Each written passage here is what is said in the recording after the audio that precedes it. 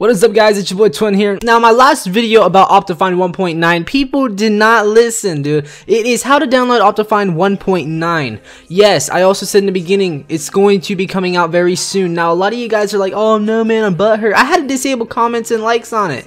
Dude, guys, chill. I'm gonna go ahead and show you guys now how to download 1.9 Optifine pre-version, okay? A lot of you guys are like, oh Twin man, you lying man, you lying. You just want it for views. Dude, I didn't even know I was gonna get 20 views on the damn video. I just showing you guys how to download it it. Yeah, some people don't know how to download Optifine. I was just showing them for it. But since you guys all know how to download Optifine, go ahead and check that video down. It's in the description if you guys want to see how to download Optifine.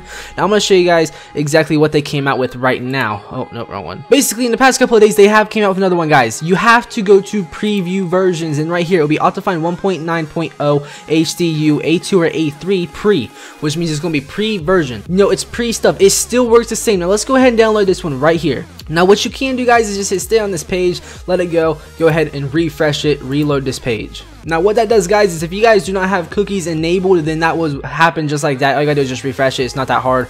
Go ahead and hit skip ad, a lot of people know what to do right here. And then it brings you to this page right here.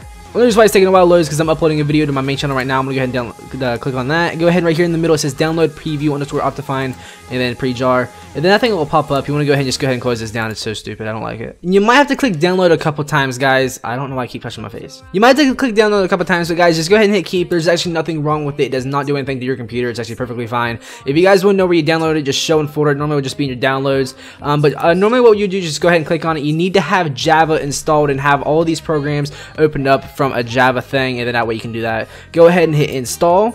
Okay, it's been successfully installed.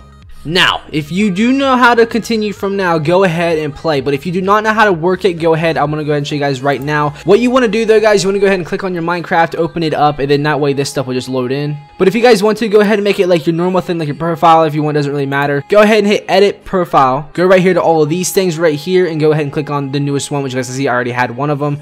I think it's A3. I don't know, whichever one, it doesn't really matter. I just click on it, go ahead and hit save profile and hit play. Now, if you guys have any other questions on what other types of mods and how to download them, please let me know down below in the comment section below. Let's go ahead and try to drop 50 likes on this video since you guys seem to be able to easily break 300 likes on the last one. But guys, if you want, if you guys want to know how to download like schematics or 5zig mod or any other type of mod, please let me know and I will either learn how to download them and then also show you guys how to do it. Or if I already know how to, I'll go ahead and do it for you guys. So guys, if you guys enjoyed this video, please leave a thumbs up. It's me, boy Ryan or Twin. I'll see you guys later. Peace out.